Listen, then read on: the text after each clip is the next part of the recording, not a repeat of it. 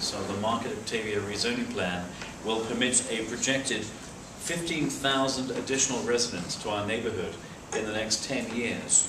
So how do you feel about this additional development being approved before there is a corresponding increase in muni capacity? Bill, let you give this one first.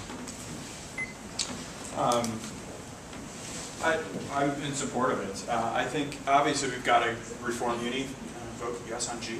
Um, so, you know, we can't wait for everything all the time. We can't wait for one thing to do with the other. I mean, analysis paralysis, right?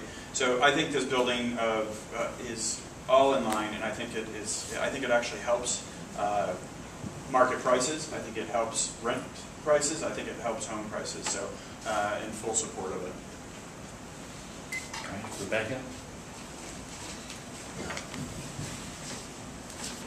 While we're going through the planning processes for all the locations, I know 16th Market and Noe's has been voted on. We've got the spot next to the community center. We've also got the spot at uh, Sanchez and Market. Um, we need to make sure that we are talking to the developers about how they can help us make sure that we've got the right money for Muni, make sure that we've got the right money for sidewalk improvements, make sure that we've got the right money for all the things that we're, all the infrastructure that's going to have to be created in order to uh, carry those 50,000 people. Thank you. Rafael? I think it's a very dangerous thing to be building, uh, bringing more people in without building in for the infrastructure to support them or providing the amenities to support them. And that is, in fact, some of what uh, has been proposed this past year, coming out of the Mayor's Office of Economic Development, was an effort to defer payment of fees to pay for things like, uh, like transportation infrastructure.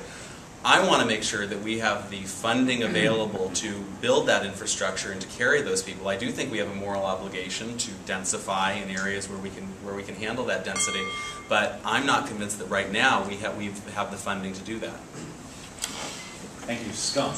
Um, every, each of the projects is unique and has to be considered on its own merits. Um, I do know that there's an entire stretch between Sanchez, really all the way down to the LGBT Center, that really could use some more vibrancy could use more people, could use, if we have retail with housing above it, more small businesses, and just more going on there. It'll improve the neighborhood.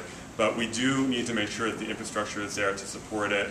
Uh, the state needs to get its house in order and stop raiding transportation funds, which is really driving Muni into a downward spiral. But over the next 20, 30 years, San Francisco as a whole has to dramatically increase public transportation along Market Street and elsewhere.